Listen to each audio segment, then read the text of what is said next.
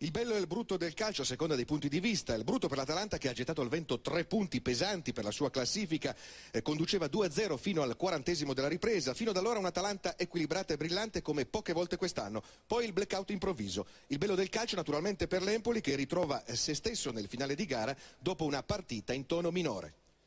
L'arbitro bolognino l'ingresso in campo, Atalanta invece di nuovo senza Rossini, infortunatosi proprio la vigilia, frattura del setto nasale al suo posto Bianchi, per il resto Vavassori conferma la squadra che aveva fatto bene a San Siro. Baldini si affida all'Empoli del secondo tempo contro il Modena, dunque con Cappellini sostituto dello squalificato Vannucchi. Passeggiata antistress per i due tecnici, 49 secondi l'Atalanta pericolosa, il cross di Zenoni s'avventa. Comandini ma Berti è già caldo e risponde in angolo. Comandini dunque subito pericolosi. I nerazzurri spingono con un 4-4-2 ordinato d'elastico. Sul cross di Foglio la respinta di pugno di Berti, un assist a Doni che non si fa pregare. Piatto sinistro e Bergamaschi in vantaggio al tredicesimo.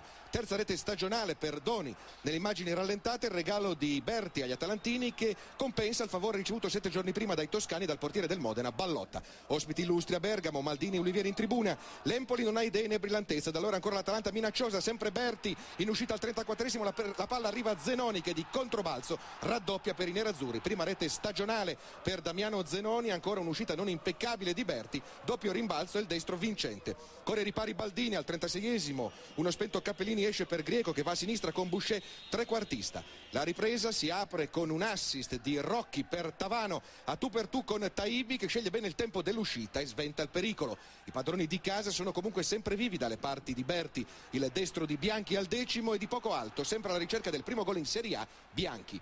Ancora Atalanta al tredicesimo, fa tutto bene Foglio, prima lo stop, poi la battuta a rete di prima intenzione, Berti in angolo. La premiata ditta Baldini dell'Empoli a colloquio, l'Atalanta sembra avere in pugno la situazione, ma l'Empoli ritrova se stesso, la squadra agile ed incisiva dalle manovre in profondità nel giro di 4 minuti. Al quarantesimo, Rocchi illumina, Tavano fulmino in area, attraversa, bravo Grieco a riprendere in acrobazia a mettere in porta per il suo primo gol in Serie A da rivedere la prodezza del ventenne napoletano Gaetano Grieco lo scorso anno al Parma dopo tre stagioni nel Genoa in Serie B. Per l'Atalanta la partita sembra finita, per i toscani no, al 44esimo ancora Rocchi nei panni di uomo assist, perfetto inserimento di Tavano che sigla il gol del pareggio, seconda rete in Serie A per Francesco Tavano da Caserta alla seconda stagione nell'Empoli è il 2-2 e lo rivediamo ancora. Per l'Atalanta un successo pesante buttato via, per l'Empoli il primo pareggio esterno della stagione e la linea ritorna a Fabrizio Maffei.